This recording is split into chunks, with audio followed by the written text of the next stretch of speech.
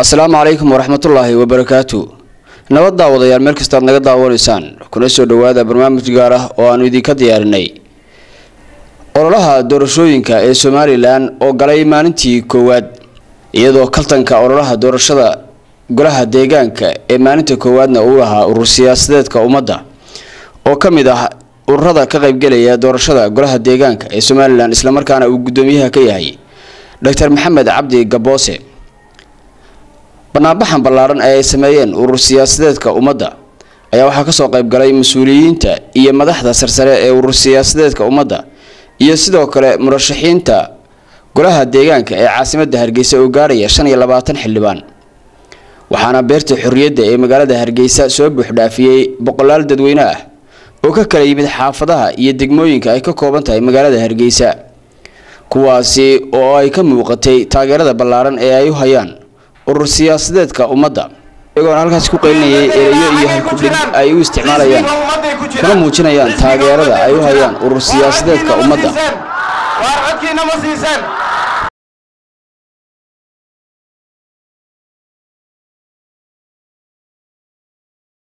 Halkaasina waxaa kala hadlay taageerayaashan soo buuxdhaafiyey beerta xorriyadda ee magaalada hargeysa. Mas'uuliyiinta iyo madaxda urur siyaasadeedka ummadda oo ugu horeeyo guddoomiyaha urur siyaasadeedka ummadda doctor maxamed cabdi gaboose iyo sidoo kale xildhibaanada ka sharaxan urur siyaasadeedka ummadda ee ka tartamaya caasimadda magaalada hargeysa kuwaasi oo dadweyne halkaas soo buuxdhaafiyey u mahadnaqay islamarkaasina ka codsaday inay siiyaan codkooda iyo gudoomiyihii degmada. hargeysa waan idin mahadnaqayaa. Barnaamijkii oo dhammaystiran sidaa ayaan noo ajiibteen gudbin doonaa sidaa ee noo maqasheen sidaa nooga raallitihiin baanu idinka raallinahay ilaahay raalli ha idinka ahaado waana sharafteen oo waana karaamayseen allah ha idin karaameeyo. Walaalayaal anigoo xidhiidhinaya xafladdan maanta anaa ka xidhiidhiyaa hawsheennii waynu furanaynaa. Walaalayaal waan idiin mahadnaqayaa in yar aan raalli ahaano cadceedda aan u adkaysanno dhibaatada aan u adkaysanno saacadaha yaree halkan taagan nidaamka iyo qorshaha ha laynoo ilaaliyo. Walaalayaal aan ismaqallo sixmadda iyo buuqa inaga daaya hawsheennii baynu furanaynaa hawsheennii baynu bilaabanaynaa. Walaalayaal maanta waa sagaal iyo labaatankii bisha oktoobar waa maalintii u horraysay kaambaynka ururada jamhuuriyadda somalilan. Innagaa ugu horraynay oo ah ururkii ummadda maanta innagaa laynagu furay innagaa u bilownay oo u wanqallay waxaa laynaga doonayaa walaalayaal sidaa aynu ugu wanqallay inaynu nidaamka u ilaalinno inaynu isku tiirsanaanta u ilaalinno inaynu qorshaha u ilaalinno iyo ismaqalka ayaa muhiima aman laa nebiya bacdah walaalayaal mudanayaal iyo marwooyin marka koowaad waxaan idin leeyahay assalaamu calaykum waraxmatullaahi wabarakaatu waxaan idinku salaamayaa salaanta islaamka ee qaaliga ah. Mudanayaal iyo marwooyin dhallinyaro waxa aan halkan idinka mahad celinayaa sida fiican ee aad uga soo qayb gasheen maalinta aynu ku leenahay ololaha doorasho doorashada golayaasha deegaanka oo maanta aynu bilownay. Walaalayaal waxaan halkan idinka caddaynayaa haddaynu nahay ururka ummadda inaynu nahay ururka ugu nasiibka badan ururada haddaan tusaale idin siiyo gaaban waxaa la- laba goor baa la sameeyey nasiib in loo helo oo nin waliba nasiibkiisa uu tijaabiyo ururada oo dhan. Ummadda haddaynu nahay waxaynu nasiibkii koowaad ku qaadnay inaynu noqonno ururka qaadanaya boqolka koowaad marka la xisaabiyo lambarrada la siinayo ururada oo ilaa toddoba boqola waxaynu nasiib u helay inaynu qaadanno boqolkii koowaad. Haddana walaalayaal waxaynu nasiib u hellay inaynu bilowno ololaha isku soo baxa doorashooyinka golayaasha deegaanka. Waa nasiibkii labaad. Mudanayaal iyo marweyn waxaan idiin sheegayaa insha allahu tacaala waan ilaahay ka rajaynaynaa marka saddexaadna inaannu noqonno ururka koowaad ee soo baxa golayaasha deegaanka.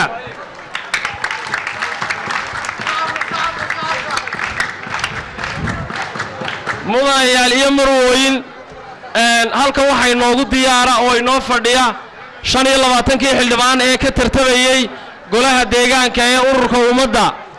Waxaan odhan karaa xildhibaanadu waa xildhibaanada ugu nasiib badan sababtoo ah waxay ka sharaxan yihiin ururka ummadda oo ah urur aad iyo aad ay dadka reer somalilan u jecel yihiin. Rajo weynna lagu qabo inuu nambar wan ku soo baxo. Walaalayaal waxa uu nasiib u yeeshay ururka ummaddu inuu guddoomiye u noqdo. Doctor maxamed cabdi gaboose guddoomiyaheenna ururka ummadda oo ah oo ah siyaasiga ugu khibradda iyo aqoonta badan siyaasiyiinta tartamaysa ama hormuudka siyaasadda somalilan meel fiican kaga jira oo aynu garanayno oo aan ninna maanta halkan looga sheegaynin waxqabadkiisa iyo saamaynta uu ku leeyahay siyaasadda somalilan.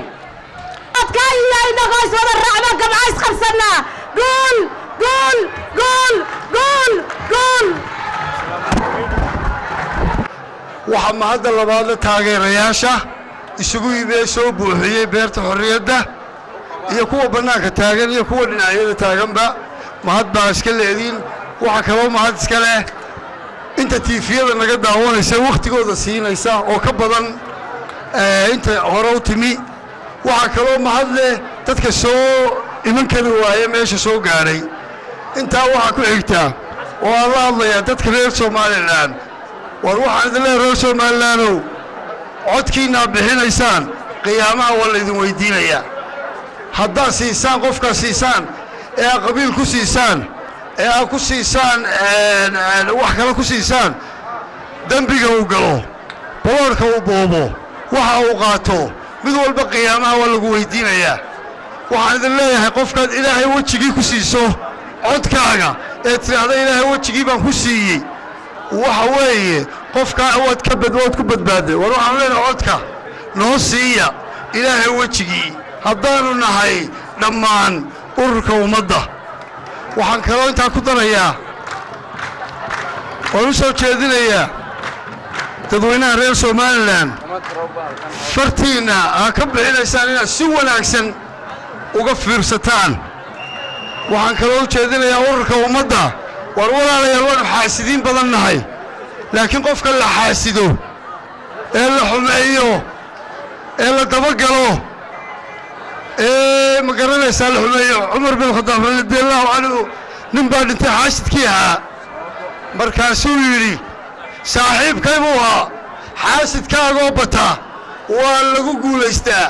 Xaasidkayguna waa badan yahay waanaanu guulaysanna ilaahay baana na siinayaa bila'aadanna waxba ugama baahnin ilaahay baanu u baahanna ilaahay. Bas assalaamu calaykum waraxmatullahi wabarakaatu in ay uga soo qayb galaan haddii aan intaa ka gudbo waxaan salaan weynu gudbinayaa. Guddoomiyaheenna qaaliga ah doctor maxamed cabdi gaboose oo ah nin khabiira ku tirsan siyaasiyiinta ugu waaweyn dalkeenna somalilan waxaan leeyahay haloo sacabtumo haddii aynu nahay ummadda ururka ummadda waxaynu nahay ummaddii islaamka ummaddii nebiga aynu nahay nebiga ha lagu salliyo nebiga ha lagu salliyo nebiga ha lagu salliyo waa salaamantihiin waa salaamantihiin aro wasalaamu calaykum waraxmat ullaahi wabarakaatu waana mahadsantii allahu akbar allahu akbar allahu akbar allahu akbar allahu akbar allahu akbar somalilan ha noolaato somalilan ha jirto ha joogto somalilan ha waarto ururka ummadduna ha hirgalo ha hagaago kii soo baxa ilaahay ha ka dhigo kii xisbi noqda ilaahay ha ka dhigo dhammaan taageerayaasha ururka ummadda madaxda ururka ummadda cuqaashiya salaadiinta waxaan ku salaamayaa salaamta islaama assalaamu calaykum waraxmatullaahi wabarakaatu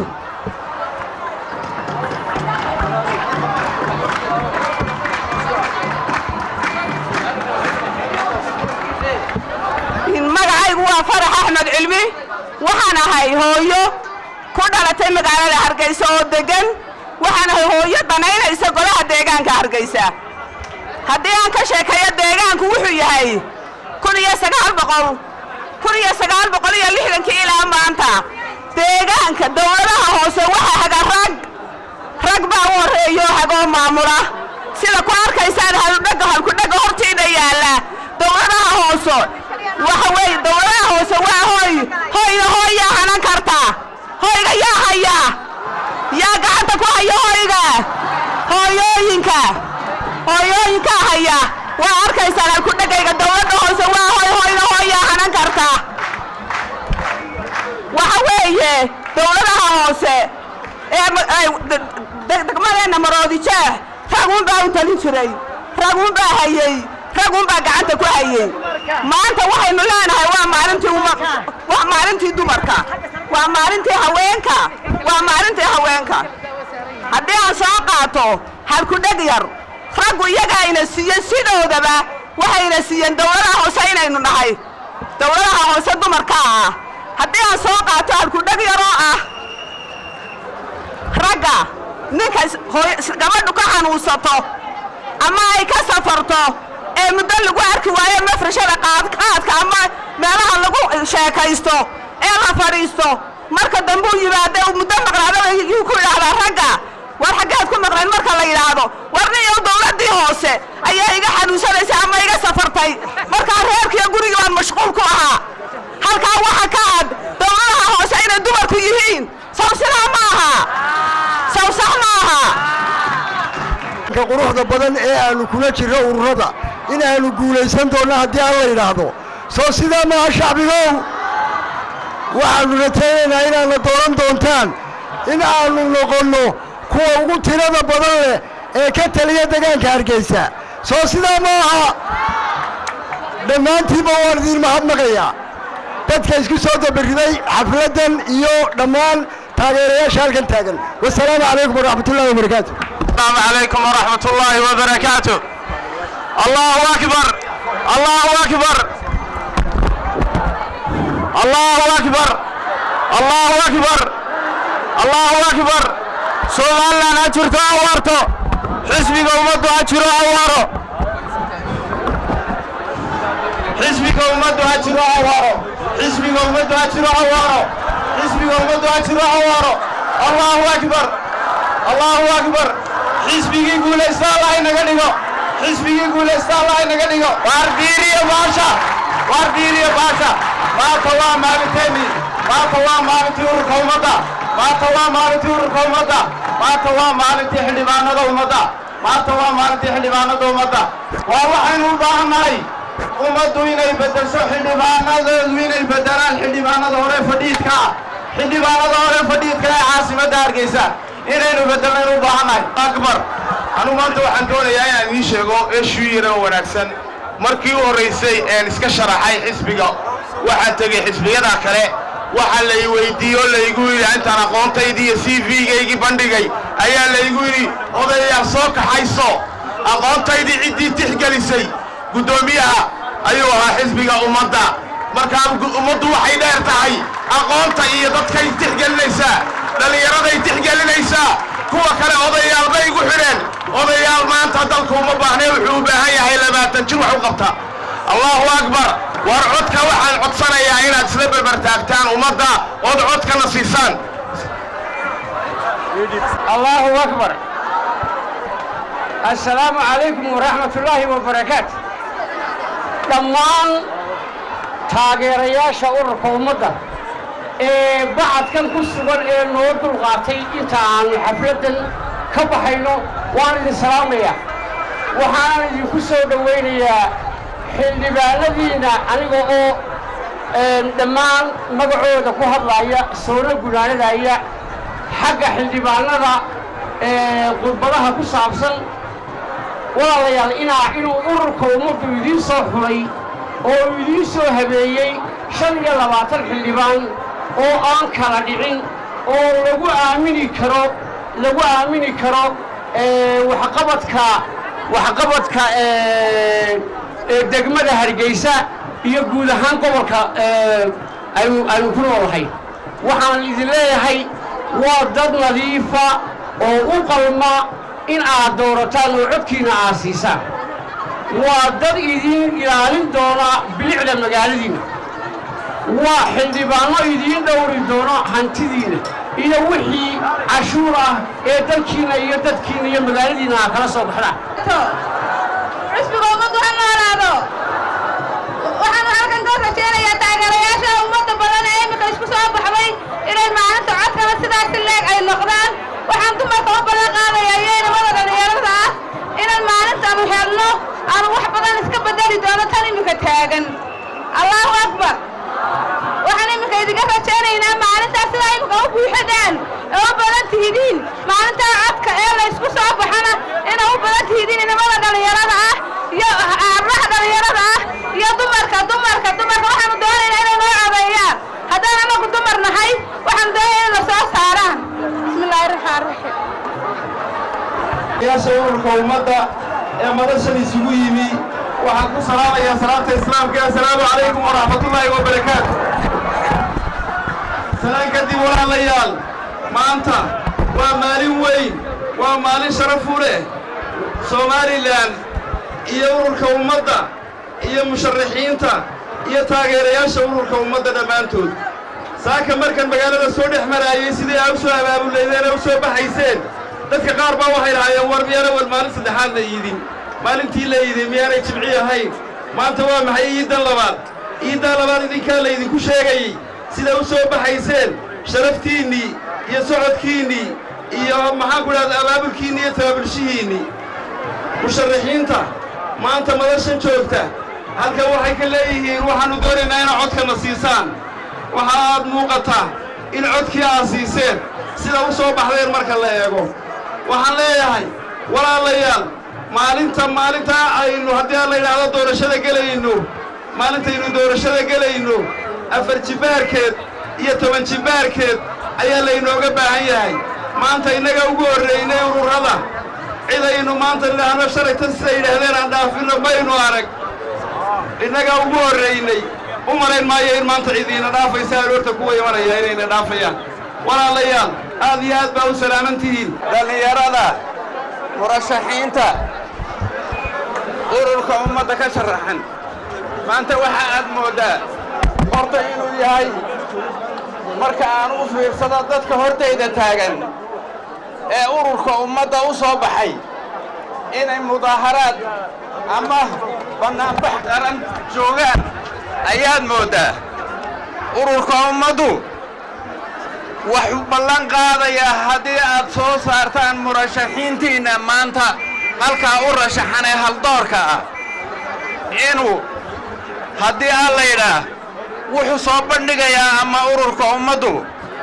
Siday halkanba ka sheegeen ama ahy halkan ka hadleen murashaxiinta u taagan ururka ummaddu. Inay yihiin kuwii hanan lahaa ee yacnii horow marin lahaa ururka ummadda inay haldoorkii u soo sharaxeen halkan murashaxiinta maanta u taagan halkan ay ka muuqdaan. Xagga kale haddii aan u baydho maanta ururka ummaddu bari iyo galbeed waa maalintiisii waa maalintii laynagu furay muxuu ahaa ururada innaga maantii maalintii koowaad ah. Halkaa waxaa ka muuqata inuu ururku yahay urur aqoon ku dhisan laakiin aan qabyaalad iyo waxyaabo caynkaasa aan ku dhisnayn. Waa meel cilmi yaallo waa meel aqooni taallo waa meel yacnii haldoorkii isugu yimid ayaad odhan karta.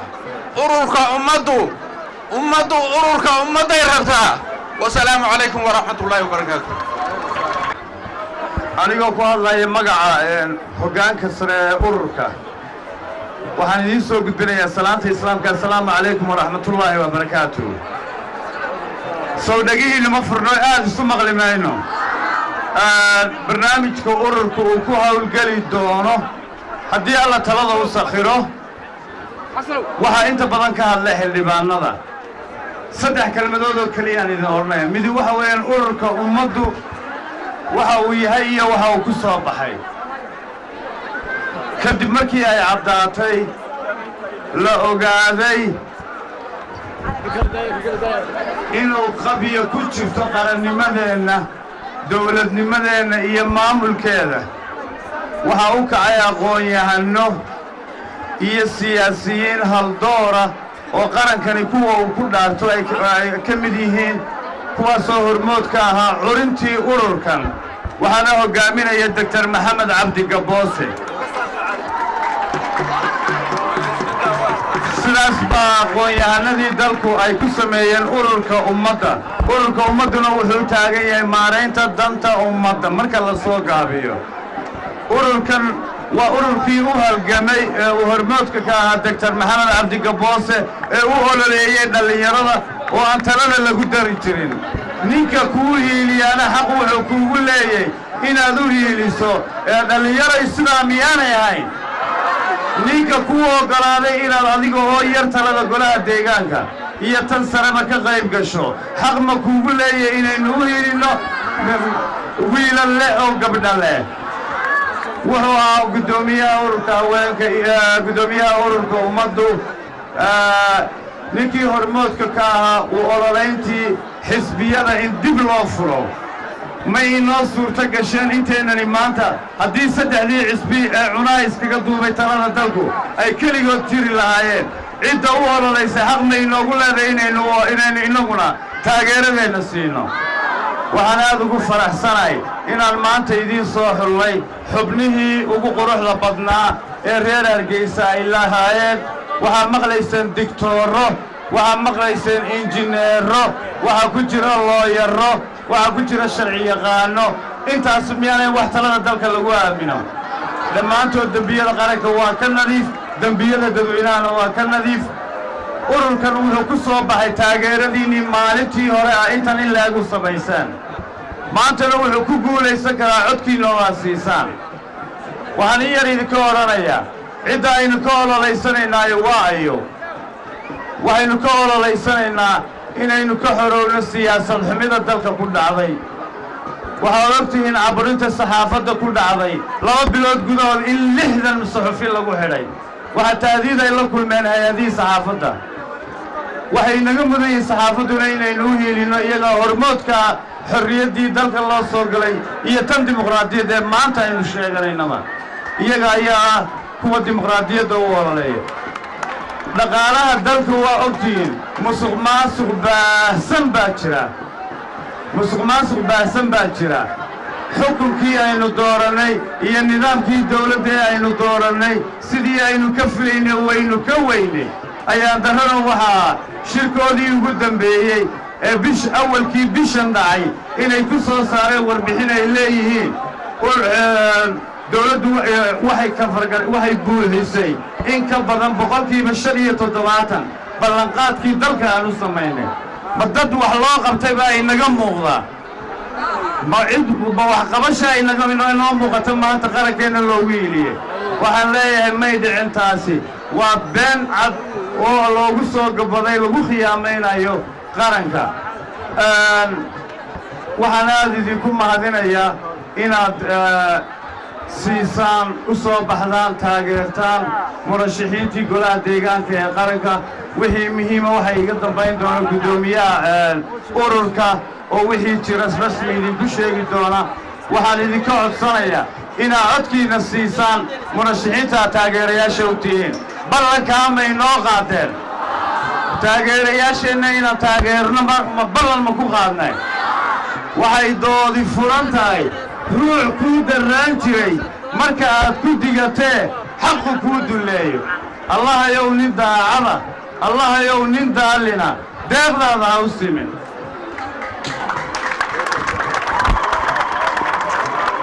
Waxayna sugaya guddoomiyaha allahu akbar! Taageerayaasha ururka ummadda ee maanta badashaan iskugu yimid ee buuxu dhaafiyey ee u yimid inay muujiyaan dareenkooda iyo madaxda kale ee meesha timidba dhammaantiin. Assalaamu calaykum waraxmat ullaahi wabarakaatu maantay sagaal iyo labaatanka oktoobar labada kun iyo labiyo tobanka oo uu bilaabmay ololihii doorashooyinka dowladaha hoose ee somalilan saacaddaana joogtaan waxaa tuban bacadka waxaa tuban lixda gobo lixda caasimaad ee somalilan ee dalka laga maamulo. Kumaankun kumaankun taageerayaal ururka ummadda oo hadlaya oo muujinaya dareenkooda oo muujinaya dareenkooda. Oo le ummaddu ha guulaysato ummaddu ha guulaysato. Ummadda laga hadlaya ururka mahna waa ummadda somalilan ha guulaysato magacana waxaan ula baxnay waa ummadda somalilan ba matalena ha guulaysato. Waxay doonayaan in boobka in boobka iyo dulmiga iyo eexdu meesha ka baxaan. Waxay doonayaan inay cadaaladda iyo xaqa iyo sharafta iyo karaamadu yimaadaan. Waxay doonayaan horumar iyo nolol. Waxay doonayaan garsoor sax. Ummadda reer somalilan waxay maanta muujisay inay doonayaan isbeddel dhaba ururka ummadduna wuxuu ballanqaadayaa isbeddel guniya baar leh guniya baar leh wuxuu ka bilaamayaa doorashadan dowladaha hoose. Doorashada dowladaha hoose waa seeska maamulka qaranku uu ka bilaamo haddaan ku guulaysanno doorashada dowladaha hoose waxaa weeye tijaabadii koowaad oo intaan madaxtooyada la gaadhin lagu cabbiri karo inuu ururkaani dalka maamuli karo caasimaddii somalilan ee muraayadda ahaan lahayd ee ubaxa ahaan lahayd ee nadaafadda ahaan lahayd ee jidadka iyo ahaan lahayd waa bohol waa qashin waa saa